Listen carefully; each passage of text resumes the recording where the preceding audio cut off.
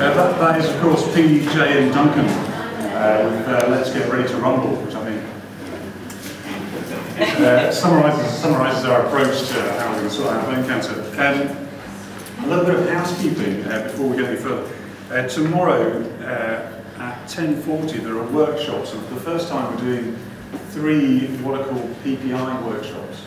So this is patient and public involvement. So for those of you that don't know, if you're a researcher writing a research grant at the moment, you have to demonstrate that you have patient and public involvement. And a lot of what, a lot of the work that you've just done actually, and a lot of work that was done last year, kind of helps set the agenda for uh, research into this area going forward.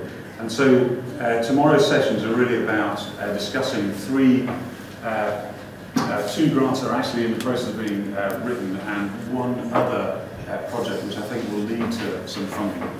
What the, work, what the, what the program doesn't make absolutely clear is what they're about. And the first one, the first one does, it's all about early diagnosis or what makes a good diagnosis. That's Lorna Fern and Rebecca Birch. Uh, the one that my name's against is actually about an initiative that you may know about already, which is called the National MDT for Ewing. So this is a national forum to discuss how patients should be, or what the best recommendation for treatment would be for a particular patient with a Ewing sarcoma.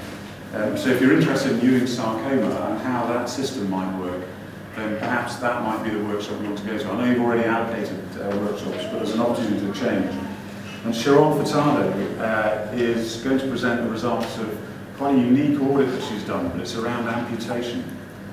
Okay, so if you're interested in amputation and services for people who've had amputation or rehabilitation, then that's what Sharon's workshop is about.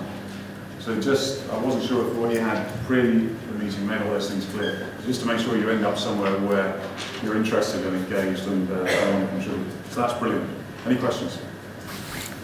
Ah, right, okay, so um, so I know you're all sitting there saying, well, look, BCRT's been around for a few years now, why haven't we cured bone cancer? Uh, and that's a really good question, and this is a list of excuses, right? So, um, and of course, the, uh, uh, you know, it's, it's kind of difficult, right? Because uh, bone cancer are rare. So here is somebody thinking about how can cure bone cancer, and it's difficult. But in common with other rare cancers, um, there are a number of factors that make it challenging, okay? And the first one is this that you all know about, which is delayed diagnosis. So we all hear a lot of stories about either delayed diagnosis or incorrect diagnosis being given at an early stage.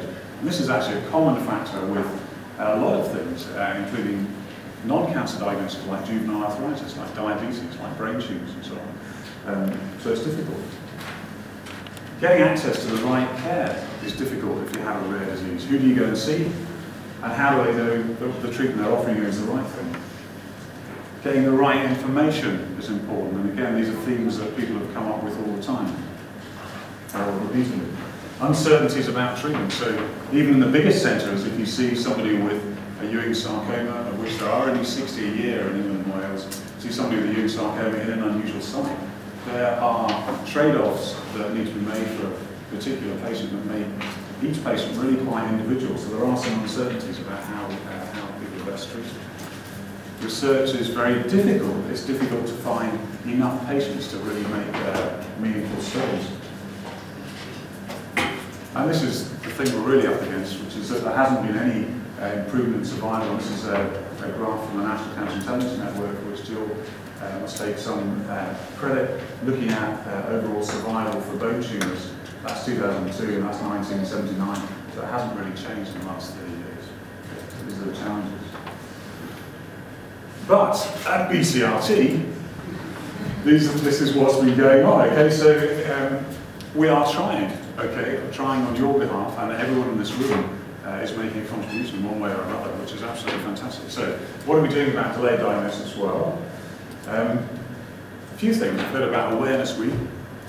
Um, we, uh, or BCRT participated in a meeting looking at delayed diagnosis in a number of conditions that I mentioned to you. And as a result of that, uh, we're at the moment paying for somebody or uh, funding a project uh, which you'll hear about tomorrow, is the Lorna Fern and Rebecca Birch project. So we're supporting them in association with the uh, Guy Francis Research uh, Fund and also with Teenage Cancer Trust. So we're helping them to write a grant proposal which looks at this particular issue. So we're not only raising awareness, but actually we're trying to tackle some of the issues by looking at research behind it. You've heard a bit about the GP educational module. Uh, we work uh, in collaboration with other charities such as the Bone Cancer Awareness Trust. So there's anybody here from Bone Cancer Awareness Trust? So here, um, so they're based in the southwest, and again very keen in raising awareness about bone cancer. So we've supported them by providing with information and so on. So we want to we want to try and make this better, but it's not just our problem; it's a problem of a lot of uh, rare. Um, access to care. What are we doing about this? Well, it was working so well, wasn't it?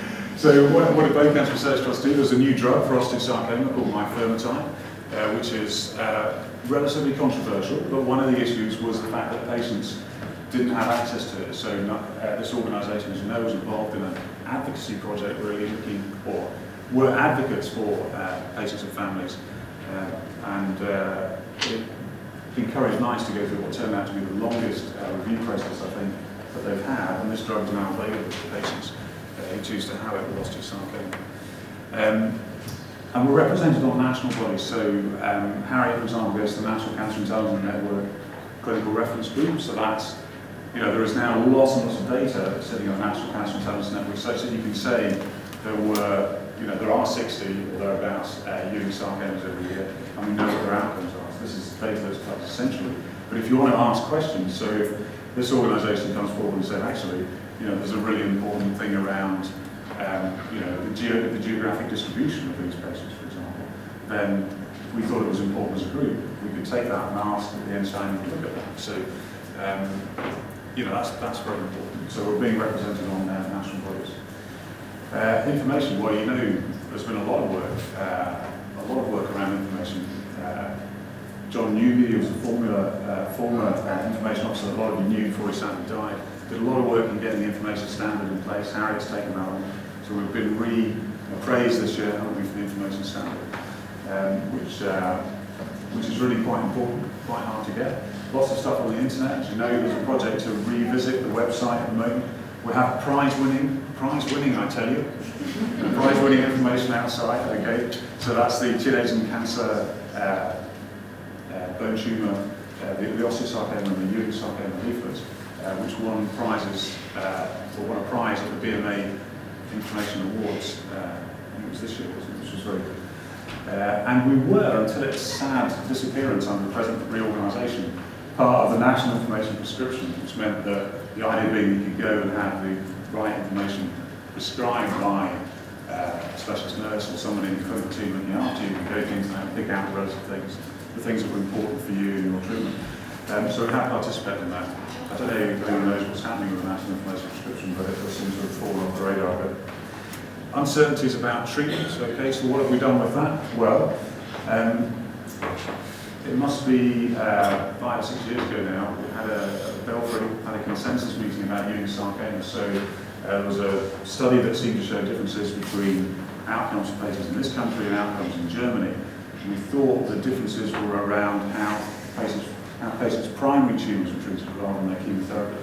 So uh, Bone Cancer Research Trust funded a meeting, you may have heard about this already, where uh, there were participants from, I think, 16 countries who sat down and we showed cases and discussed how each case should be treated. And at the end of that, we came up with uh, a realization that actually there was a lot of area where there wasn't necessarily consistency in treatment. Subsequent to that, we now discuss uh, every patient with Ewing sarcoma and national Ewing's MDT, um, which has been, which I you about earlier, but it's actually been absolutely fantastic in terms of identifying what it is we agree on. In other words, what do we really know uh, is the right treatment? You know, what conditions do we really, really know we can treat well and adequately, and what particular Ewing's sarcomas do we need to perhaps do studies on? We need to be, um, you know, a little bit more open about the fact we're not sure how, how to treat them. So for example, some tumours in the pelvis and the sacrum can be very difficult, uh, can be very difficult to treat. Um, so that's really been fabulous, and Bone Cancer Research Trust has had an input into, uh, into the National Ewing's MDT. Uh, and uh, following an exercise at the British Sarcoma Group, uh, where we were wondering how to take forward the sarcoma agenda in the UK, one of the things that came up was the fact that sarcoma nurses needed to meet and exchange information, and BCRT funded that. So there's been a lot, you know, this organisation has really done a lot towards improving collaboration uh, and discussion about sarcoma national. Uh, research is very difficult, so uh, what are we doing about that? Well, funding obviously, a lot of money, okay, one and a half million almost. Um, the scientific advisory panel now, delighted that Andy Hall's taken this role on because he's come with a whole load of new ideas. He's a very smart chap, he's going to tell you, going to talk to next. Um, but essentially having an active scientific advisory panel that can uh, review applications, make them better and give feedback to researchers is very important. Because we want to encourage researchers, uh, we want to make their ideas stronger. We don't want to, um, we don't necessarily want to turn people away, uh, but they have to have good quality projects. Uh, we had a meeting to try and encourage tumour banking because it was felt at a meeting that we had in Leeds uh, three or four years ago that scientists wanted tumour in the fridge that they could do experiments on, long story short. So we had a meeting about how to crack this. I'm not sure we have quite cracked it yet, uh, but that's definitely on the agenda. Patient public involvement, I told you about before, and rest assured, as I said to you, the things that come up at this meeting do help inform really the national agenda for research. What research should, for example, the National Cancer Research Institute Sarcoma Studies Group, which looks at randomised trials in sarcoma, what kind of research should they do? Okay, and uh, you know, you'll seen the newsletter, and this diagram, which is outside, uh, which is the funding tree. So these are things that are funded, this is where money comes from. So roots and branches come to already. Fantastic bit of work um, showing the scale of what's been funded uh, and the fact what it is, so half million. It's a fantastic workload. And it's through that that we're going to start cracking this with luck. There's been no improvement in survival by stimulating research, raising awareness and this advocacy role, which brings up bone cancer as an important topic for research elsewhere. And with your help, we'll kick it into such. Thank you very much.